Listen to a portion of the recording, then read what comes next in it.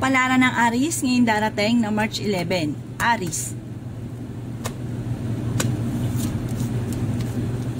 Sinasabi po dito na ating tarot card Aris na maaaring kay do po ay uh, merong iniisip sa ngayon, meron kang pinoproblema. Ipagdasal nyo daw po ito para kung ano man yung iniisip ninyo at pinoproblema ay kaagad masolusyonan. Magiging matagumpay naman daw po kayo sa buhay, magiging okay lahat, maging sa usapin ng buhay, pag-ibig at pera.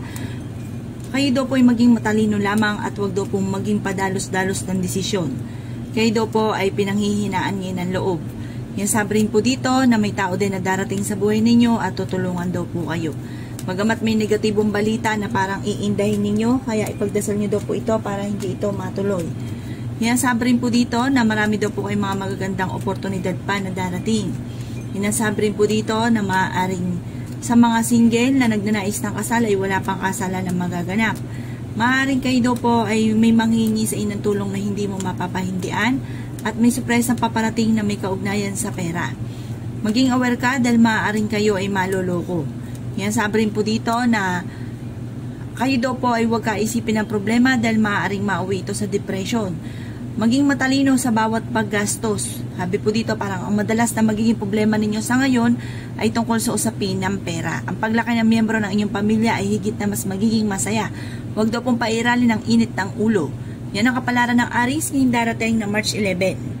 Kapalaran ng Taurus ngayong darating na March 11. Taurus. Sinasabi po dito na ating tarot card Taurus na maaaring kayo daw po ay may mga pagtatalo na magaganap tungkol sa, sa usapin ng pera pero ito daw po ay maaayos din.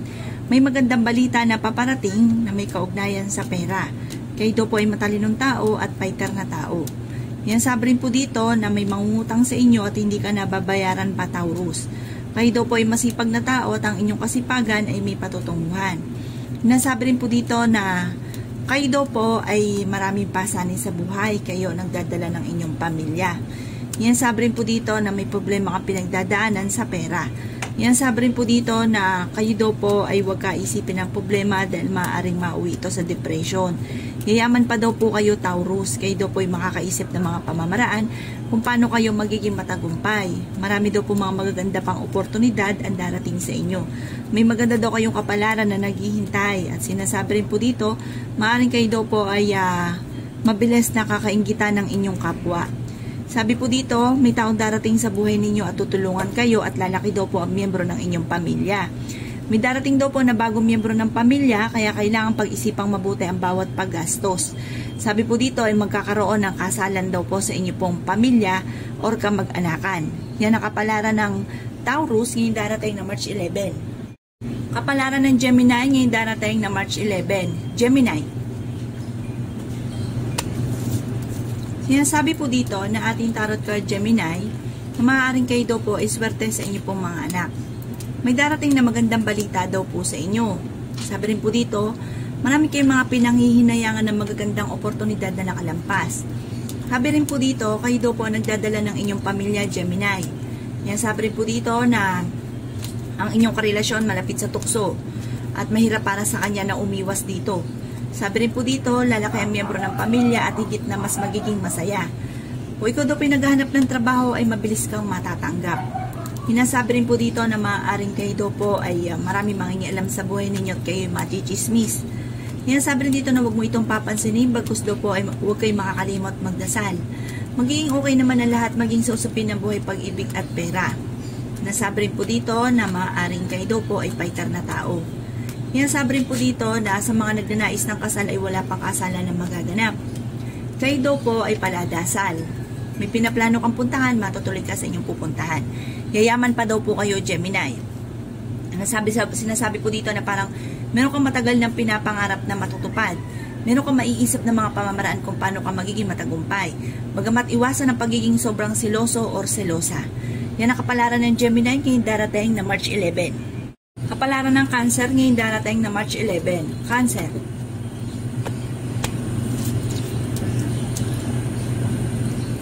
Sinasabi po dito na ating tarot card Cancer na may darating sa inyo na magandang balita na may kaugnayan sa pera.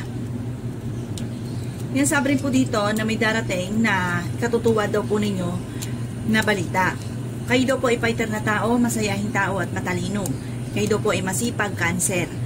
Ang inyong kasipagan ay madadagdagan pa ang inyong kita at may tao din na darating sa buhay ninyo tutulungan kayo.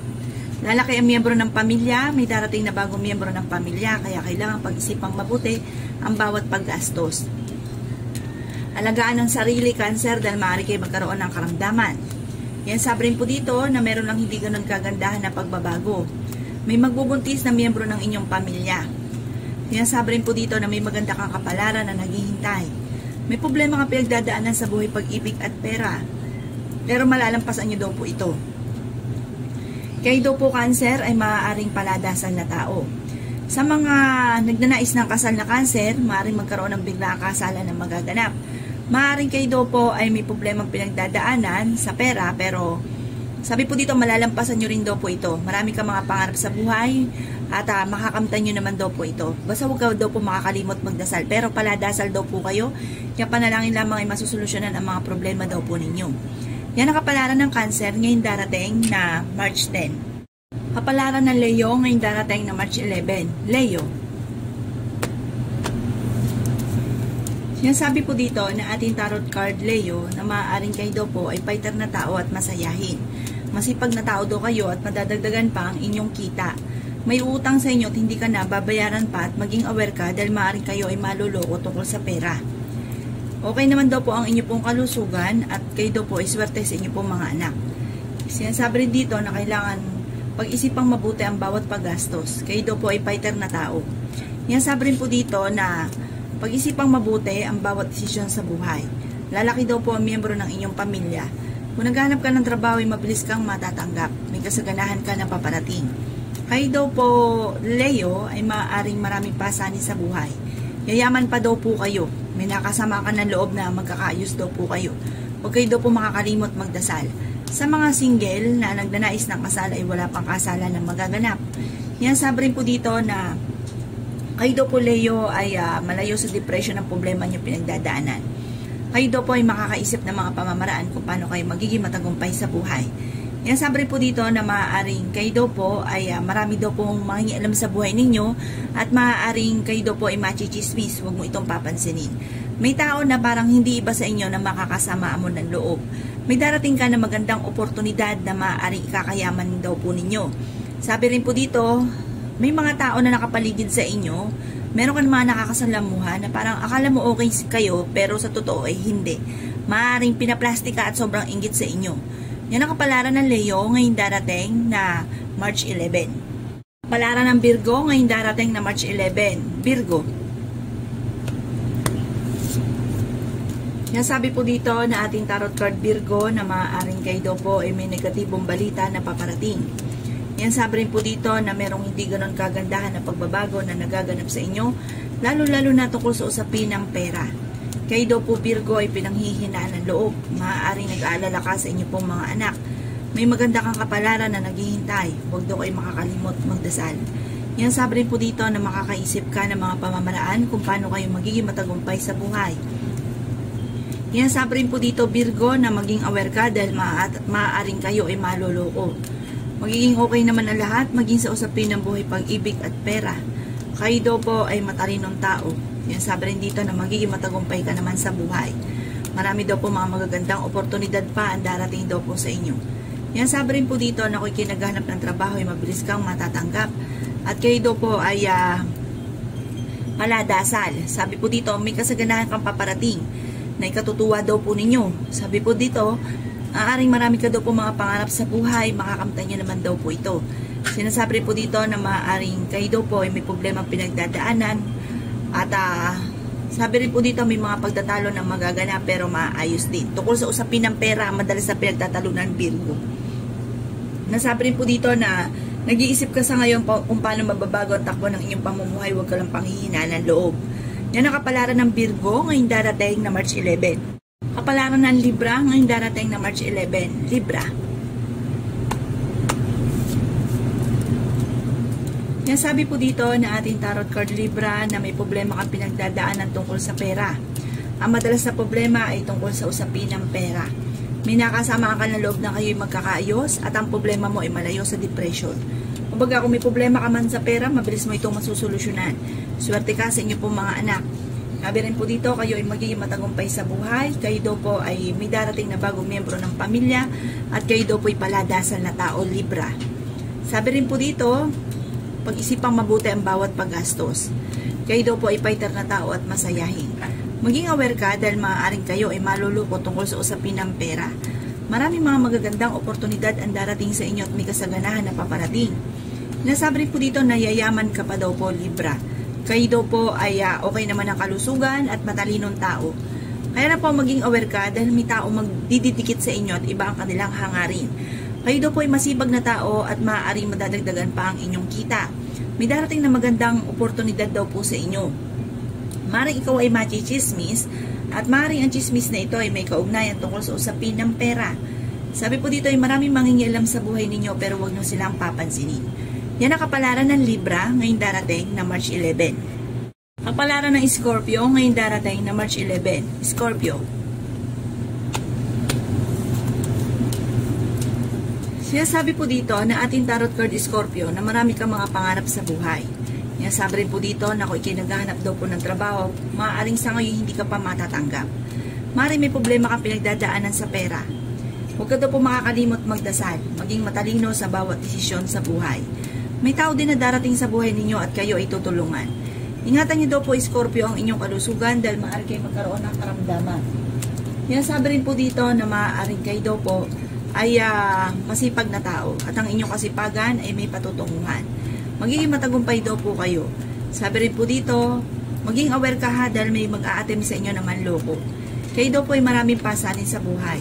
Kayo daw po ay swerte sa inyo pong mga anak. May kasaganahan ka na paparating. Yan sabi rin po dito na kayo daw po Scorpio ay maaaring maaaring dadaan sa mga pagsubok. Huwag niyo daw po kaisipin ng mga problema dahil maaaring mauwi ito sa depression.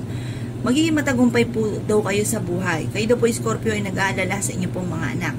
Huwag niyo masyado itong kakaisipin dahil maaaring maapektuhan naman ang inyo pong kalusugan.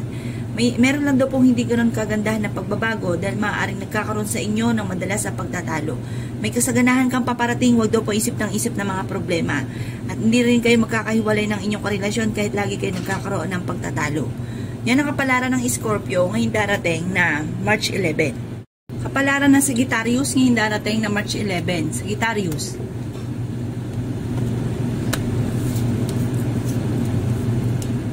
Sinasabi po dito na ating tarot card sa Sagittarius na maaaring kayo daw po ay uh, may uutang daw sa inyo at hindi ka nababayaran pa. Kayo daw po ay maging aware dahil maaaring kayo ay maluloko. May darating daw po sa inyo na magandang balita at magandang oportunidad na maaaring ikakayaman daw po ninyo. Kayo daw po ay swerte sa inyo pong mga anak.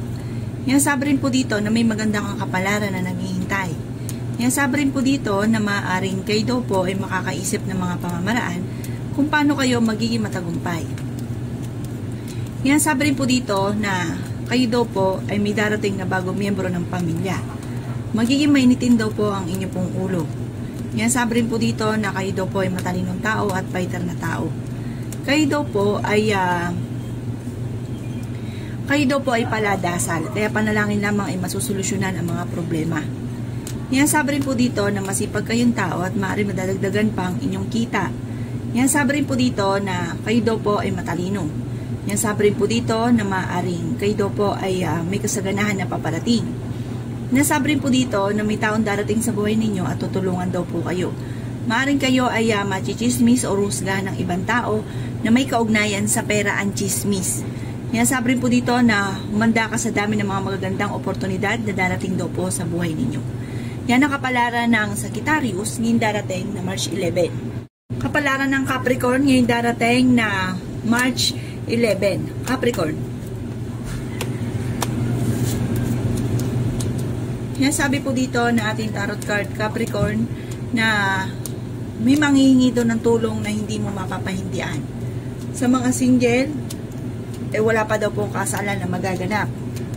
Sa mga nagnanais ng kasal, kung naghahanap ka daw po Capricorn ng trabaho, ay hindi ka pa sa ngayon matatanggap. Kayo daw po ay uh, maging matalino sa bawat desisyon sa buhay. Nasabi rin po dito na ingatan ang inyong kalusugan dahil maaari kayo magkaroon ng karamdaman. Sabi rin po dito ay may kasaganahan kang paparating at makakaisip ka ng mga pamamaraan kung paano kayo magiging matagumpay. Yan sabi rin po dito na may tao din na darating sa buhay ninyong Capricorn at tutulungan daw po kayo. Yan sabi rin po dito na maaaring huwag kaisipin ng problema dahil maaaring mauwi ito sa depression. Magiging matagumpay daw po kayo at marami kayong mga magaganda pang oportunidad na darating. Kayo lang daw po nagdadala ng inyong pamilya, marami kang pasanin sa buhay. At uh, sabi rin po dito, marami kang mga pangarap, makakamtan niyo daw po ang mga pangarap ninyo. Meron daw po kayong pinuproblema sa ngayon, parang dumadaan kayo sa pagsubok, sa usapin ng buhay, pag-ibig at pera, ipagdasal niyo daw po ito para kagad ay masolusyonan ang problema daw po ninyo. Masusolusyonan daw po ito parang dumadaan lang kayo sa sa mga pagsubok. Sabi rin po dito, maaari nag-aalala ka sa paglaki ng miyembro ng inyong pamilya. Huwag ka daw po Capricorn makakalimot magdasal. Yan ang kapalaran ng Capricorn ngayong darating na March 11. Kapalaran ng Aquarius ngayong darating na March 11. Aquarius, Sinasabi po dito na ating tarot card Aquarius na may kasaganahan ka na paparating. Sinasabi rin po dito na kayo daw po ay kung naghanap ng trabaho, hindi ka pa sa ngayon matatanggap. Ang inyong karelasyon ay malapit sa tukso. May magbubuntis na miyembro ng pamilya or kamag-anakan. Okay naman ang inyong kalusugan at may maganda kang kapalaran na naghihintay. Kayo daw po ay pinanghihinaan ng loob. Sinasabi rin po dito na may malaking magandang pagbabago na magaganap daw po sa buhay ninyo. Sabi rin po dito na magiging mainitin daw po ang ulo ninyo Aquarius. Maaaring may problema kang pinagdadaanan sa pera pero malalampasan niyo daw po ito. Kayo daw po ay matalinong tao. Yan sabi rin po dito na maaaring swerte ka sa inyong pong mga anak at sinasabi rin po dito na may manghingi sa inyong tulong na hindi mo mapapahindian. Yan sabi rin dito na maging aware ka dahil maaaring kayo ay maloloko. Maaaring may mag a na manloko sa inyo tungkol sa pera. Sabi po dito ay may darating na bagong miyembro ng inyong pamilya or kamag-anakan, madagdagdagan ang miyembro ng pamilya. Kayo daw po ay malayo naman sa depression ng pinagdadaanan at paladasan na tao daw kayo. Kayo daw po ay fighter na tao at masayahin. Magiging okay naman ang lahat maging sa usapin ng buhay, pag-ibig at pera. Kung ano man yung pinuproblema nyo daw po sa ngayon, Aquarius, ipagdadasal para kaagad ay masolusyonan ang problema. May gabay daw po kayo at kayo na may paladasal. Yan ang kapalaran ng Aquarius ngayon darating na March 11. Kapalaran ng Pisces ngayong darating na March 11. Pisces. Kaya sabi po dito na ating tarot card Pisces na kayo daw po ay may magandang balita na paparating at kayo daw po ay matalinong tao. May kasaganahan ka na paparating at kayo kinaganap ng trabaho, mabilis kang matatanggap. Makakaisip ka ng mga pamamaraan kung paano ka magiging matagumpay sa buhay. Huwag ka lang daw po makakalimot magdasal sa ngayon na may problema kang pinagdadaanan sa buhay, pag-ibig at pera, ang problema ay huwag kakaisipin dahil maaaring mauwi ito sa depression. Kayo daw po ay makakaisip ng mga pamamaraan kung paano kayo magiging matagumpay. Yan sabi rin po dito na maaaring kayo daw po ay masipag na tao at ang inyong kasipagan ay may patutunguhan. Yan sabi rin po dito na pinanghihinaan ka daw po ng loob. Yan sabi rin po dito na ingatan ang inyong kalusugan dahil maaaring kayo magkaroon ng karamdaman. Kayo daw po ang nagdadala ng inyong pamilya, marami kang pasanin sa buhay. Yan sabi rin po dito na may nakasamaan ka ng loob na kayo ay magkakaayos. Yan sabi rin po dito na nag-aalala ka sa inyong pong mga anak. Maging aware ka dahil maaaring kayo ay maluloko tungkol sa usapin ng pera. Maaaring kayo daw po Pisces ay marami daw po naiinggit sa inyo. Nasabi rin po dito na maaaring matitigil din naman kung ano man ang mga pagtatalo na nagaganap at kahit lagi kayo nagkakaroon ng pagtatalo ng inyong karelasyon ay hindi naman kayo magkakahiwalay. Parang kahit kayo pa rin. Kayo daw po ay makakaisip ng mga pamamaraan kung paano kayo magiging matagumpay. Yan ang kapalaran ng Pisces ngayong darating na March 11. Salamat po sa panonood. Kung ako po may mga nabanggit na hindi ganun kagandahan, maaaring ito po inyo pong iwasan. At yung mga magaganda ay welcome po natin. Salamat po!